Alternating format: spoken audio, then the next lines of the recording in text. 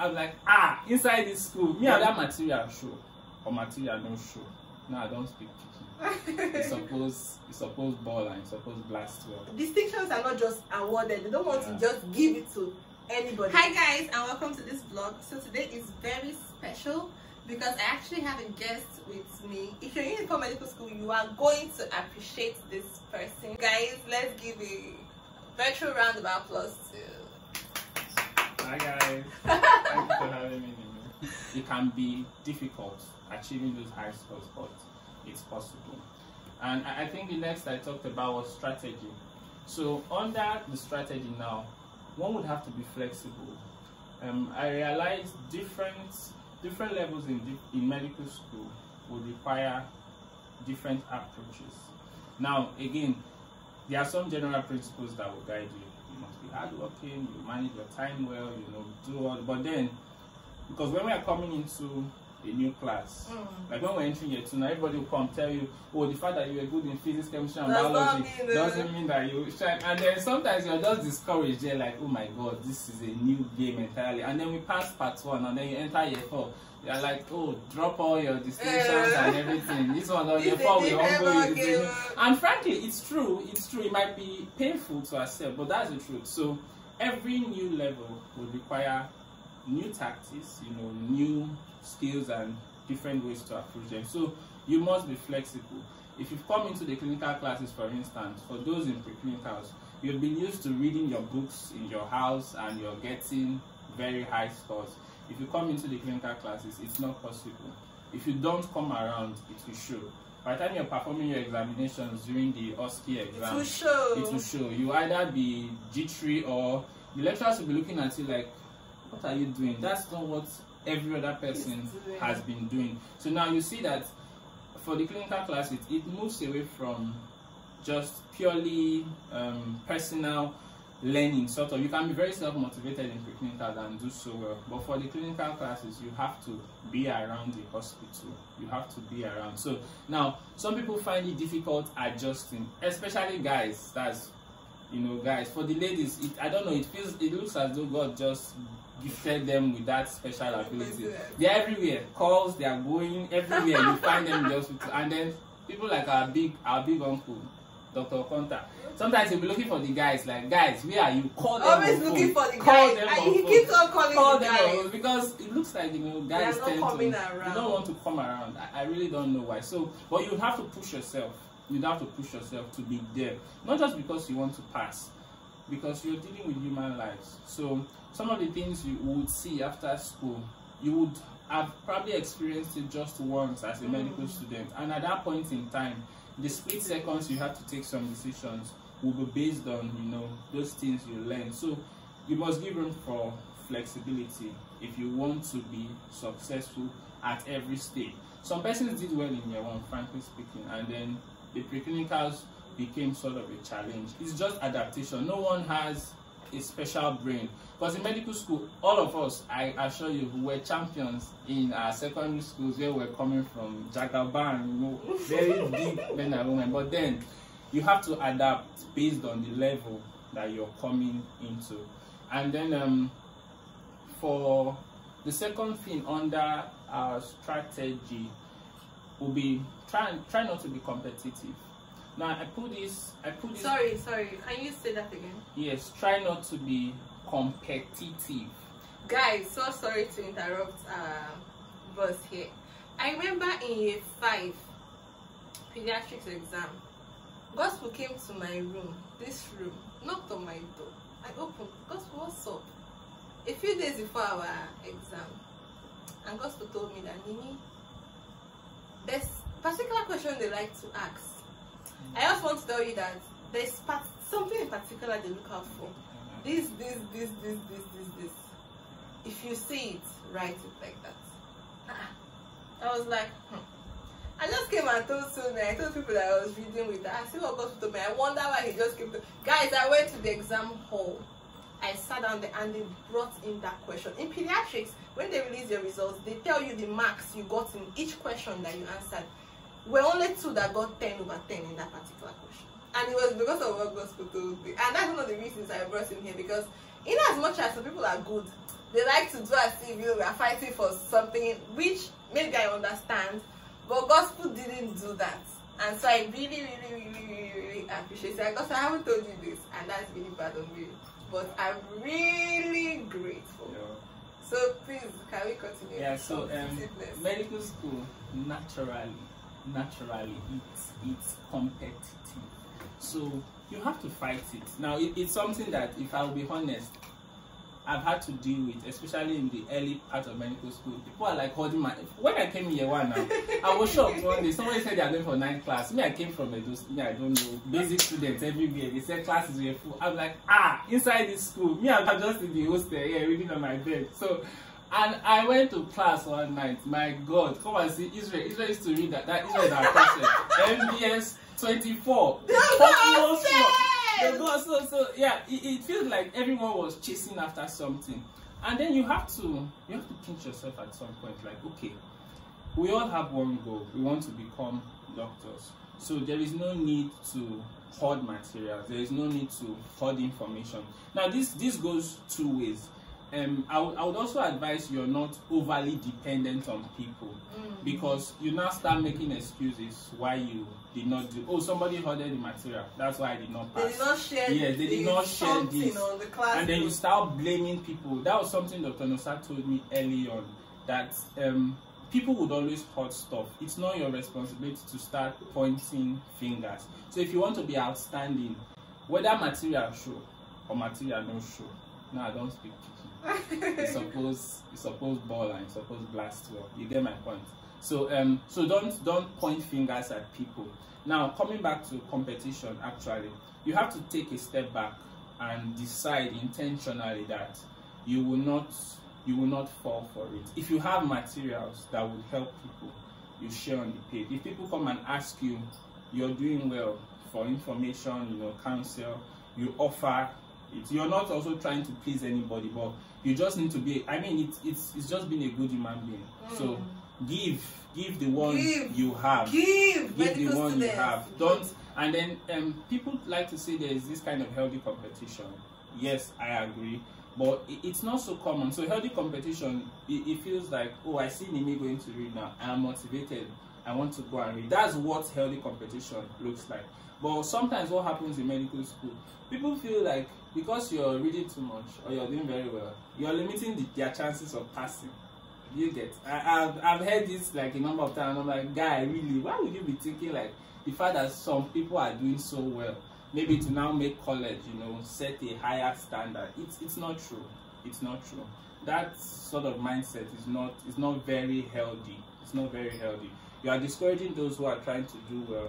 Meanwhile you yourself you're not also willing to push yourself you know to do so well. So competition is a no-no. Unhealthy competition is a no-no. Competition is also linked um, to the fear of missing out. So um and I, I would also tie this to knowing yourself. So some persons like sometimes now we are doing tutorials and some Mm. people are complaining that oh um they did not put it at a favorable time you know if the tutorial is holding now we, would want to show up so it's like they should stop the tutorial because it's not conducive Yes. for yes, me for me. now that's fear of missing out you don't want other people to, To have something because because you, you will not not be there. so that is it's totally wrong if you don't want to show up he doesn't want to call names. Don't show know up. the names.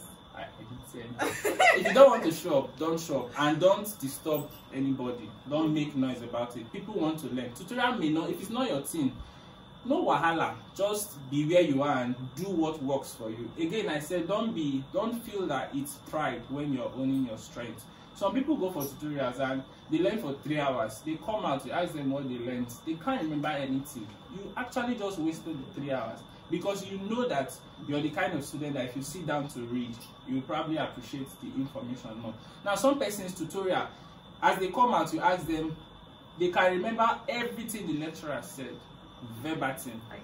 You get? Now those persons tutorial is it's for them.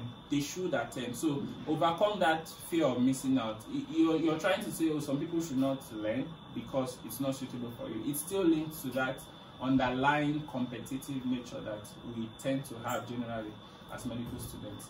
Now um, the last is hard work. So under under hard work I would I would talk about reading and recalling here, Mm. because uh, if I've said all those things and I don't actually talk about you sitting down, because everybody reads. To be honest, everybody in medical school we actually read. Whether you start early, start late, some will be asking for slides, 2 a.m., 3 a.m. Everybody reads, and they still blast. You know, different strokes for different persons. So, but then more than reading, you're interested in actually remembering what you've read and reproducing it. So, um, and now peculiar peculiar to us in medical school, I know other departments are hard. In all honesty, pharmacy, engineering, much respect to all they have to deal with. But one thing that is striking here is the volume of work we have to do. Sometimes I think it's unfair. I think it's unfair. In final year, for instance, in surgery we have cardiothoracic, urology, bones and plastic, orthopedics, and anesthesiology. We have um, ENT, we have ophthalmology, we have general surgery, we have pediatric surgery, we have public health. Public health has like eight or nine specialties on that. you haven't got medicine. medicine with all medicine is like the whole of pediatrics. It's the whole everything. So we're going for this exam and we'll have to prepare in maybe like four weeks at most if we're very lucky they give us six weeks. Ideally it's two weeks. These days they, they try to They be try, you know try. nicer and they negotiate with us. So the volume of information you have to deal with it's much. It's crazy. So now you would have to pay attention to how should how best do I recall this information. Now for different kind of for different courses Mm. and depending on the nature of what you're trying to recall, different strategies would apply. So people talk about repetition a lot. I agree, repetition works, but what it majorly does is helps to sharpen your understanding. Okay. Yes, it helps to sharpen your understanding. But if, for instance, there are 10 features of this condition that you want to know, repetition will help you. You might remember three or four, but if you really want to have it at your fingertips, you must code it. There'll be a money. So you now see that for things that have to do with you know, making a list or stating the clinical features of this and this, mnemonics will be better for you. For things that have to do with, um, let's say, dates, sometimes it might be splitting them into parts or associating it with something like your birthday. Now, if you're not aware of this, if you're not aware of some of these things, you will not apply them. And the way the mind works, the way God made your mind, your mind is really very sharp. Once you start to think, okay, how do I recall this? Something just enters your mind. It might be an event, it might mm. be something related to a saving Now, once you tie it to that, you can't forget it because it's your own. You generated that knowledge. You were not trying, after having read it now, it went in and then it came out. So it's difficult for you to Forget forget. Even if they just start you waking up from sleep, what is this? You say it because it's your own. But when you just rely on, you know, repeat, re- repetition is not really effective. Now, there are other things, the Feynman's technique, which talks about um, when you read, if you teach someone, you recall, you actually do recall a lot. But I, am, I, I think that there's a bias for that for medical school because everything you're reading, you can't be teaching people. If you, you, won't, you won't have the time. Yes. So for the ones that are really difficult, and when you find somebody having a challenge in that area, feel very free to offer to teach. Once you teach something, you actually do record it for a very, very long time. I may not be able to say all the strategies, you know, to recall, but you can look them up. There are, you know, ideas and stuffs on Google and all that would help you if you actually want to pay attention to retaining the information you have and then reproducing it in exams. I think that's that's most of that's most of. I hope I've, I hope I've not missed you know anything. So well, that's yeah, those are the secrets. So Okay. understanding medical students. Okay, yes, that's awesome. But I want to ask, I hope I'm not putting on the spot, if you were to just say, in as much as you've said every other thing, we're talking about that just that extra thing. If you were to say you just have one minute and you want to tell your younger brother one thing that will you want him to learn, that you want him to do in this medical school to make him a better person, a better doctor overall. One thing. That's that's quite a. I have to think about that. Yes, Mhm. I, I think it's fine. Um, think everything is tied to passion. Hmm. Yes. Everything is tied to passion. People lose the passion along the line. You know, when you're year four, year five, you feel like the cast has scammed you.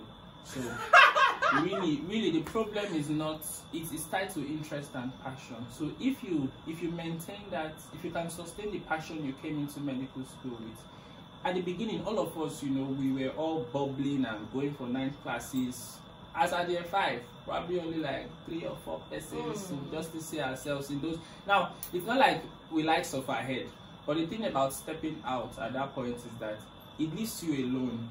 I'm sure Nimi is reading in a room now. Plenty, some people just come and you know Mm. keep knocking and knocking and They know interrupting themselves. They know themselves. interrupting interrupting and all so the passion would sustain every other thing your ability to stay disciplined you Yeah. know to be diligent to go the extra mile to be aware of all these things are sort of tied to your passion. And then also um for those who believe in god because if i'll be honest there are some exams i've written like um anatomy. I was actually on a 69 you get and the lecturers had this thing of if you did not reach 70 they are not calling you. So somehow they called me and they were arguing amongst themselves oh why did you call him? And in my mind i'm like look at this one god has confused people. And then eventually they gave it sometimes i, I really did not expect them so i'll just put in my best and the little one left god just you know does the checkmate for me and that's it so i, I believe it will be dependent I'd like to ask as well, how do you manage to stay consistent? It's been eight years with gospel. Me and you have been here. Me, I get tired. Gospel, how do you manage? Okay, I, I, okay. Sometimes you actually have a lot of reasons to be consistent. For me, because um, you know, it's it's easier starting something, but more difficult finishing. So when I look at my younger colleagues, those coming behind me, those persons who probably benefit from your story, the way you approach medical school, I realize it's it's actually more than me. Doing well is not just it's not just about yourself. It's not just about your certificate. In the larger scheme of things, when we finish medical school, all the BGS and the distinctions, yeah, they may help you, but it doesn't really count. But the fact that persons we still see Dr. Brian today and we are inspired, you know, you will hear of Dr. Musa, you remain inspired. So and then you see that that your little action is like a snowballing effect Effect. that more generations will probably be determined to be well. excellent students, which will eventually mean they'll be excellent doctors and better patient care. So it's like a large cascade in the broader scheme of things. Guys, Yeah. I feel like they didn't tell me this one. And now, now I'm now feeling like, ah, guys. I don't know if this one week though, I don't know if I can, if I can utilize all these things. Thank you so much for watching. I, I, I appreciate you all. I'm sure Gospel also appreciates that Yeah, you're thank you watching right now. Please, if you enjoyed this video, remember to subscribe. 98% of my viewers are not subscribed. Please just subscribe, I beg you, and then give this video a thumbs up. You can also write particular questions if you want me to ask him anything. Send me a message, and guys, I love you and I really appreciate you. Thank you. Good night.